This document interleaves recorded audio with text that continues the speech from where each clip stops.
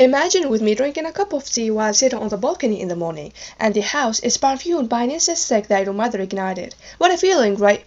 But have you ever asked yourself how does tea flavor spread from the tea bag through a cup of hot water, and how the fragrance of the incense spreads in the whole house? If so, in this video, I will use my best endeavors to make the reason behind this so clear.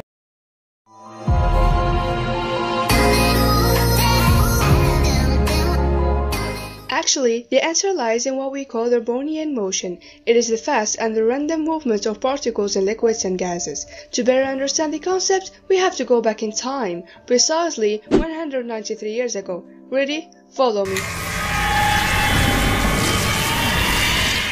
In 1827, the Scottish botanist Robert Brown published a study where he reported his observations about the random movements of small particles in pollen grains, as we can see here but he wasn't able to explain it. So for that, we are going to turn to a physicist that you probably heard of, Albert Einstein. Using the kinetic molecular theory, which assumes that molecules and atoms are in continuous random movement, Albert outlined his understanding of the Brownian motion in 1905. Now, let's go back to the present and explain to you how the process actually works. Actually, fluids are made of very small particles called atoms or molecules. Imagine with me that you assist a football match. The players are kicking the ball to each other.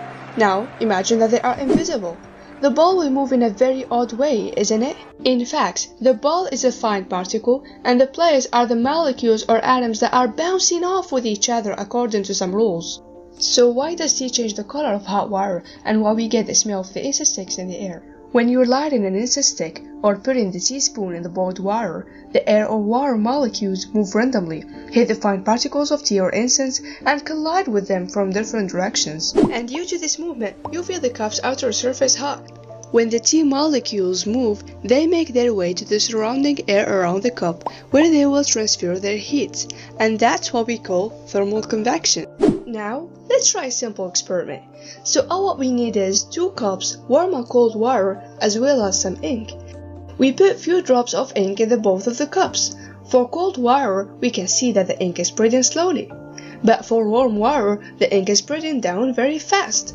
What happened is that warm water has a high temperature, and its molecules move so fast, so the ink is spreading faster too. Similarly, since the cold water's molecules move slowly, the ink also spreads slowly. This phenomenon may look to you useless, however, it supported the modern atomic theory, and it turns out to be incredibly useful in a host of disciplines such as math, physics, biology, etc.